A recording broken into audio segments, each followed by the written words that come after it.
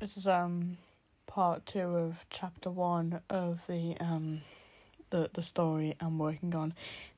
Basically, what I said between this cut was um I'm gonna add some more information about the characters at the end. Sorry about that. My heart stopped. I started to feel lightheaded with panic as I stared at him. What do you mean? I managed to muster out, trembling. Well, I've been seeing them lately, and if you did get attacked by one, I suggest you be careful out there if you want to get home alive. His tone was serious. I knew he wasn't messing around. So I wasn't dreaming. So Telmo was here, but what happened to him? Well, what about you? I asked, clutching the cat doll tightly to my chest as I sat up. Me? I've been here for years. Only now have I started seeing them. Ever since you arrived. He gave me a skeptical look. Did he think I was to blame? Well, I don't know why they're after me. Do you? I mumbled in fear. He didn't mean it, did he? He must be joking. Well, all I know is that they're out for your blood. That's it. All he, mur- he murmured as he poured himself a drink from the jug on the desk in front of me. His attitude had completely changed. He was so hyper five minutes ago. I just sat there, staring down in terror. What was I supposed to do?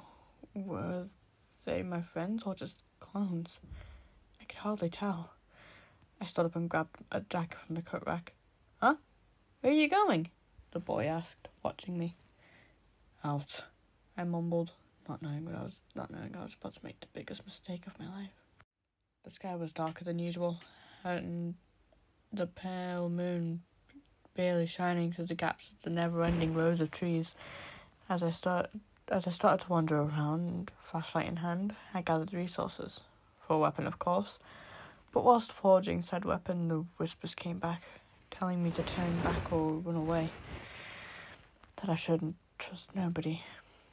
I foolishly passed them off as a thing to scare me as I finished tying the sticks and stones together while holding the flashlight in my mouth. As I pushed myself to my feet again, I started to jog back home, although I felt like I wasn't going any faster than I was walking. In fact, I was going slower. I started to panic, gripping my fla- gripping the gripping the flashlight in my hand, in my in my left hand tightly, my new weapon in my right, as I'm right-handed after all. I started to speed up my pace, eventually dashing through the door as if somebody pushed me. I fell to the floor in a heap of exhaustion and sweat as I gasped for air, out of shock and the fact I was running, of course. The boy came sprinting over in a panic. Are you okay? He knelt down before me as I lay on the floor. I'm, I'm fine, I'm fine. Nothing was chasing me, I just felt like I was getting pulled back before getting shoved. I muttered, fear coursing through my blood as tears started to fall from my eyes in a panic. The boy lifted me up to a sitting position and wiped my eyes as I sobbed. I don't know how long I was crying for, but I just was. Hey, hey, don't cry. Everything's alright, I promise. Just, just calm down.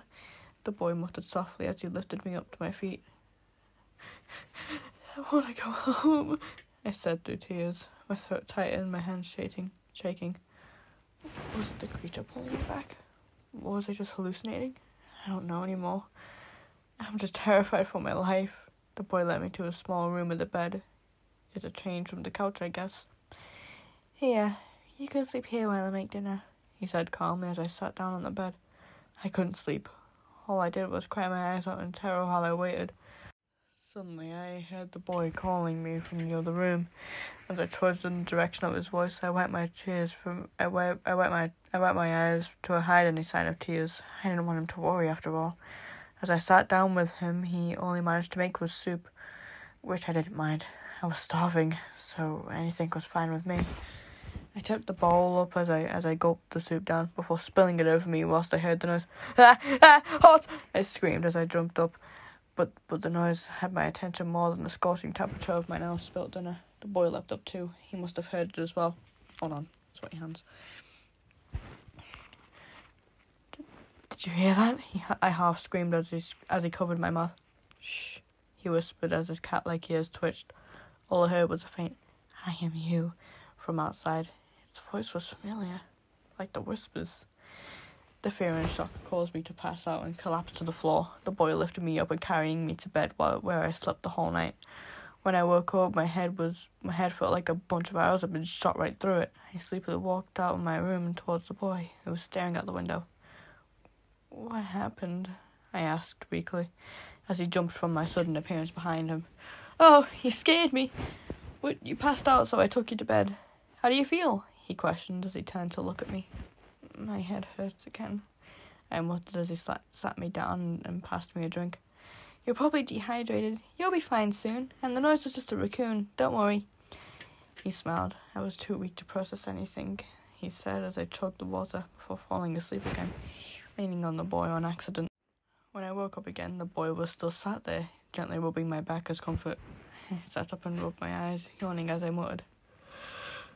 Sorry about that. I guess I didn't sleep well last night. You seemed like you needed it too, he giggled. You were out cold. Heck, that's the first time I've ever heard someone sleep talk. I sleep talk? I mumbled. Yeah, you were saying stuff like, Grammy warned you, and oh my god, Neil Cicierega. I find it funny. He laughed to himself while whilst mimicking, mimicking my apparently sleepy voice. I giggled too, before breaking into a laughing fit. The boy looked at me with surprise before laughing too. We laughed for a while before I started to explain what I was sleep talking about, him nodding along with what I had to say.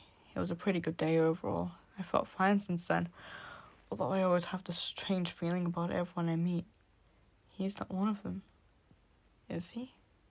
I'm also gonna give some like information on like the characters as well. So for example, um Elliot, he is well, he is actually like another variation or at least the version that I'm using of, you know, normal Elliot that we know. Um, Elliot, he he does sleep talk, he does sleep walk sometimes, and he has very, very, very bad trust issues.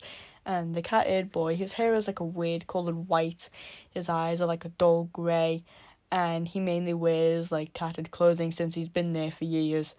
And the creatures, the creatures that I'm gonna like, I'm actually gonna like um animate.